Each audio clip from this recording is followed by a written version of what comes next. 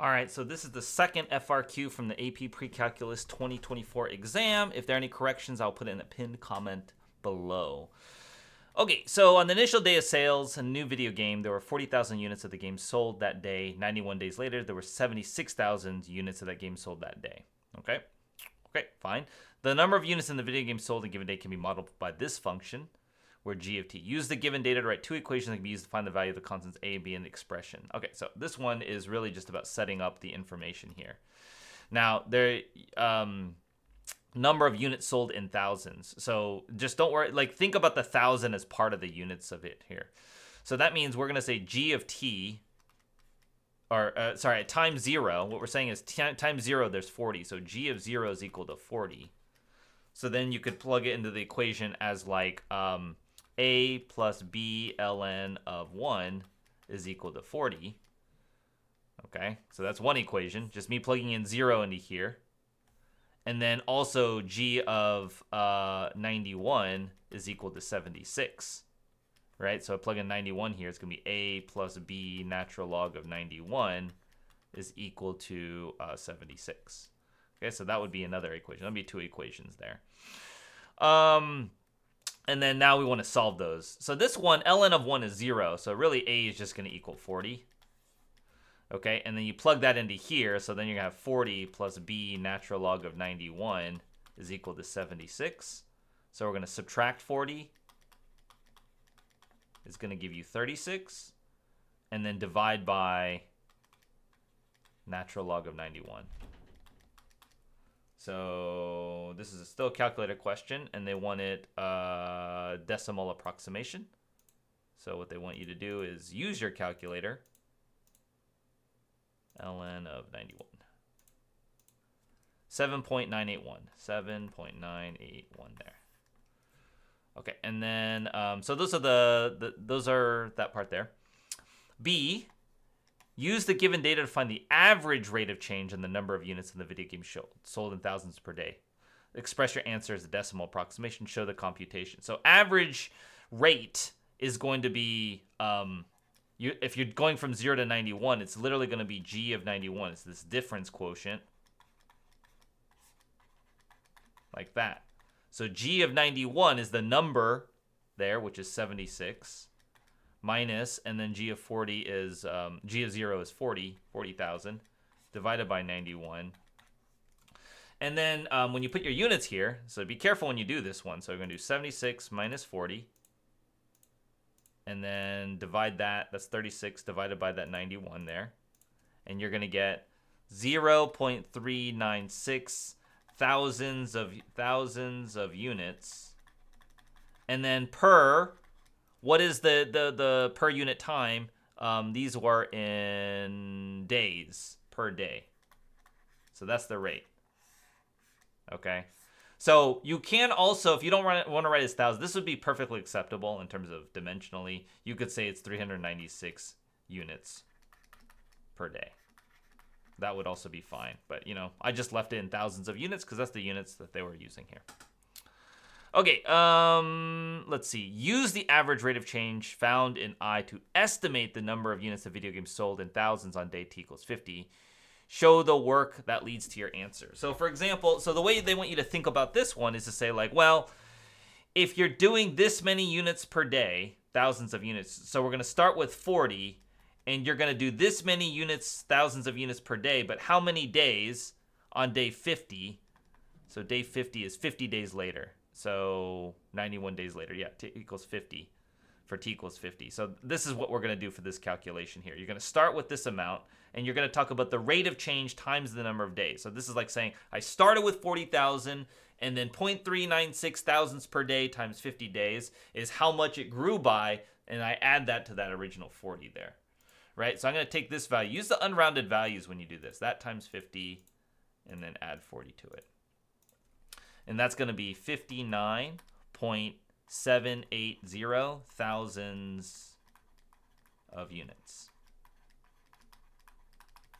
So we'd say g of 50 is approximately equal to that. You probably want to use that function notation just to be clear on that one. So that is for part two.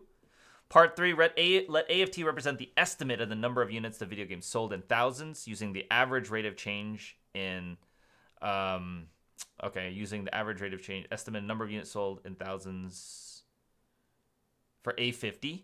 It can be shown that A50 is less than G50. Explain why in general AFT is less than GFT for all T, where 0 is less than T is less than 91. Okay, so they're saying that A50, this is our estimate, A50, right? So this is our approximation. Now they're saying that this should be less than the actual amount sold. Okay? Um, and what you want to what you want to say here is um, let me see. So using the average rate of change, um, found it can be shown that A of 50. Explain why in general AT for 0 to 91 here. Um, because, let me see.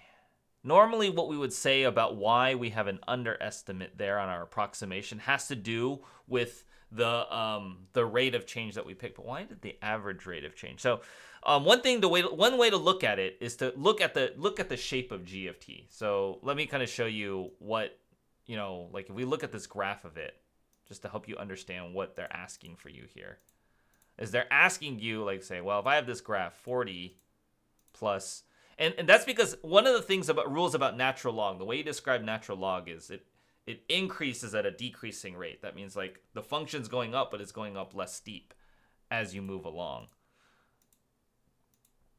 okay, times natural log of t plus 1, x plus 1 here. So let me just kind of show you the graph, and I'll explain the reasoning. We'll write out the reasoning, but I want you to see what the what the um what in our window we're gonna go zero to 91.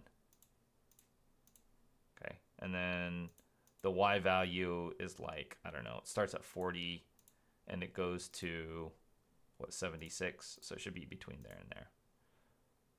Okay.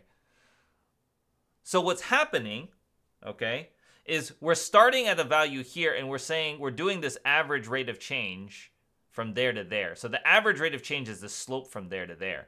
But notice that what happens is that um, um, I don't know why this isn't true in general overall, but um, actually, give me a second.